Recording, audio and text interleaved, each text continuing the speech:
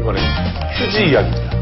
또 휴지 나오니까 또 우리 젊은 미녀분들 할 얘기 많은 얼굴인데 자 북한에서 휴지 대신 사용한 생필품은 무엇일지 송세호 씨. 뭐 흔히 말하는 뭐 이, 지푸라기나. 갖가지 풀들 네, 지푸라기나 뭐또 잘 사는 집은 달력 같은 거. 달력? 달력. 맞다. 아니요. 우리랑 그 커왔던 게 좀 비슷했을 것 같아요. 우리 7, 80년대, 90년대 초반까지 휴지 없으면 급하면 신문지 이렇게 이렇게 하면 신문지. 자, 휴지 대신 사용했던 생필품 과연 무엇인지 정답을 공개해 주세요.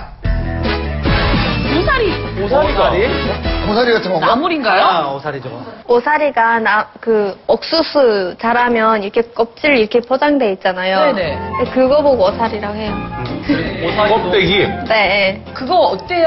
거칠거칠하지 않아요? 오사리도요, 그게 그니까 외피가 있고 내피가 있잖아요. 근데 이제 내피를 주로 사용하고요. 외, 밖에 거는 이게 너무 거칠어서 네. 못 사용 못해요. 내피는 좀 예, 부드러운가요? 네, 부드러워요. 예. 그리고 그게 오사리 가지고 북한에서 또 책도 만들거든요.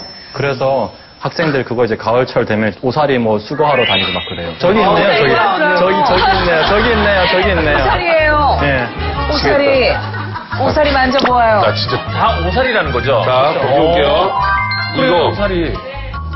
아니, 이거 왜 아깝게 이거 안 써? 이거 좋은데? 그건 남성용. 남성용. 그 남성용. 그리고 엠보싱 처리가 돼 있어요. 진짜로요?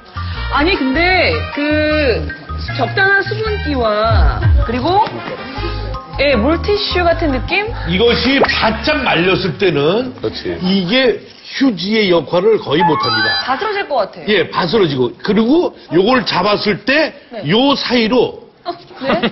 얘가 이렇게 나오게 돼 있어요. 난 휴지 보고 저렇게 좋아하는 사람 처음 봐. 이게 나오니까 바짝 말리질 않아요.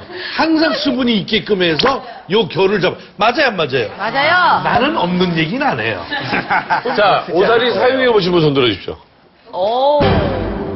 농촌동원 나가면요 마대에다가 천마대다 이거 한 마대 이어줘요 반장들이 그러면 그 뭐 하루도 못